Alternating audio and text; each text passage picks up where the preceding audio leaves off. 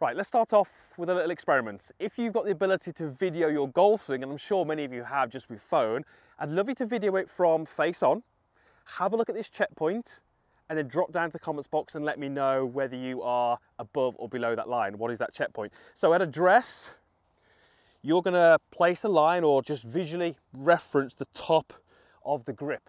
So in here, and you're gonna kinda, if you can draw a line, you're gonna put that line out horizontally out this way. Now the checkpoint I want you to have is when the club shaft is level with the ground on the way down, so here, I want you to tell me whether the grip of your club is above or below that line. My hunch, the chances are your grip will be much higher than that line at that checkpoint.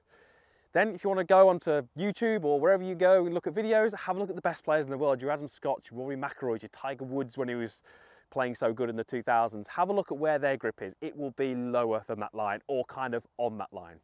And when we're looking at strike and, and compressing the irons and getting that real nice sensation off the club face with that really nice penetrating flight and the nice divot, this is one of the most important checkpoints.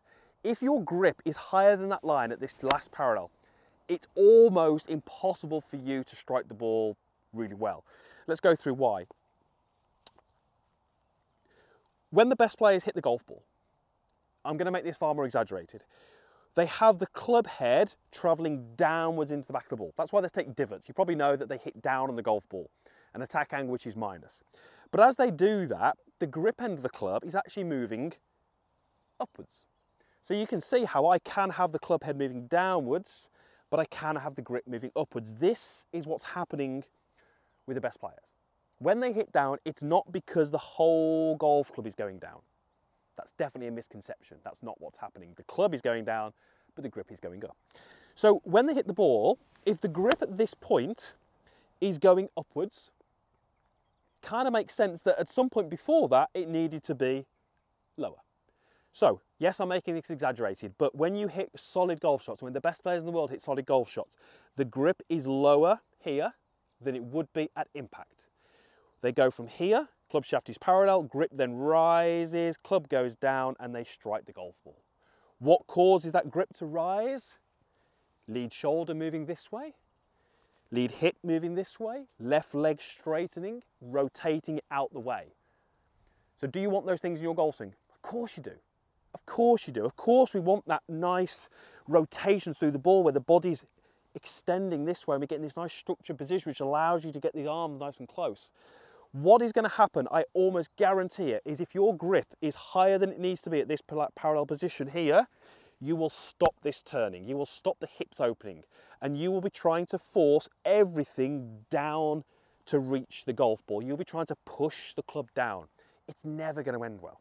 You might get the odd one that works, but on the whole, it's going to be inconsistent. So if your golf swing through impact feels kind of stuck. It feels that you can't turn through. It feels that you can't rotate. It doesn't feel like you can really explode out the golf ball. This is why. There's two things that we need in order to fix this. I'm going to set up a little practice station to highlight what they are, and then we'll come back and show you how you can practice it. This is your first little exercise, your first little practice station, and feel free to do this at home first. You can do this against a wall, that's a really good place to start. I've got my alignment sticks here with a cover on, golf bag is fine, we just need a reference point behind you. Now, you might want to do this indoors, so because of that, I'm going to take the club away and just pop it across my shoulders.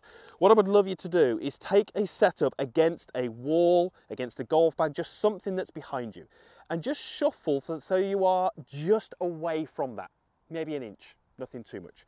Take your posture, make a backswing, and then as you work back, I want you to push into that wall. So as you can see, as I'm doing that, I'm very, very slightly increasing the amount of flex or the angles that are in my body. Now, what that will do on its own is it will allow the arms to get lower. You know, if we are getting taller, it would make sense that the arms are going to be higher or further from the ground. So many of you who have those hands too high at that point, it's because from the top, the body extends early and then it becomes almost impossible to get the hands low. Then we're definitely going to be slowing our rotation and forcing the golf club down. So if I was doing this at home, I'd be having the club across my shoulders or, you know, a reference point across my shoulders, being just away from the wall and then I'm rotating. I probably don't feel the wall, and then I rotate, feel the wall, feel the wall, feel the wall. And absolutely fine, you know, to do this in practice and, and make it relatively exaggerated. We might not see that much of a drop in height when we actually come to hit shots. That's kind of fine. We're just looking to create a feeling and an awareness of the right kind of movement.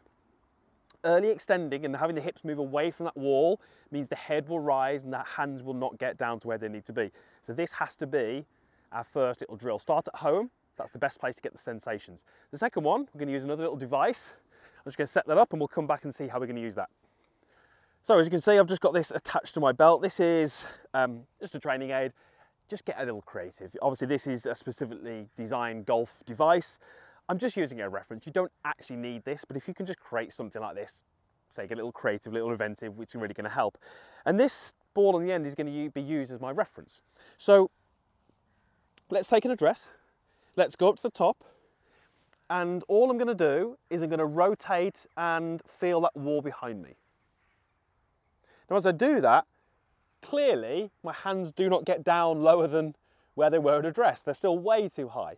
So as we're making this movement with our body, we actually need to get the arms to work a little bit more down towards the ground. The arms or your lead arm will need to work down your chest. Your trail arm will start to straighten a little bit. It won't straighten fully, but it will straighten a little bit. So once I've got this reference point here, and you can see that when I set up, it's you know roughly at the same height as the grip end of my club, I can now make some rehearsals where I'm going to the top, I'm working against the wall, and my hands work down into this delivery position. Now, if we put that line on at the start, now we're into a fantastic delivery position. I've got great angles in my body. I've got the grip lower than it was at setup. I'm now in a position where I can explode out, which will raise the grip up as I send the club head down. That is the combination that we need.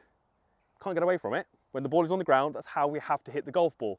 There's different variations of that, but we need that movement. So it's really going to highlight if you're someone who really struggles to get the hands down, because if you're here, then yes, that rotation is going to stop as you try and force everything down and you're going to get really buckled arms. This is a great way to practice it. So how would I hit shots? Well, I'm certainly not going to reach that green, but I'm going to do a few pump drills. I'm going to go up to the top. I'm going to rehearse it. I'm going to rehearse it. I'm going to rehearse it and then I'm going to explode out the way. And I should be able to hit really nice struck golf shots like that one. Nice and low, but the strike was exactly what I needed. And for me to do that and for you to do that, the two key points, you know, is the shape that's in your body and where your hands are in terms of a height relative to where they were at setup. I've done a video similar to this before and I called it the underwater drill.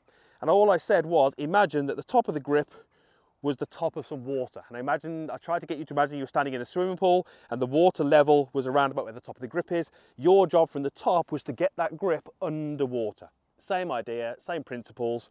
And then from there, you pull it up above the level of the water. If I hit one now, we should see something that looks pretty similar.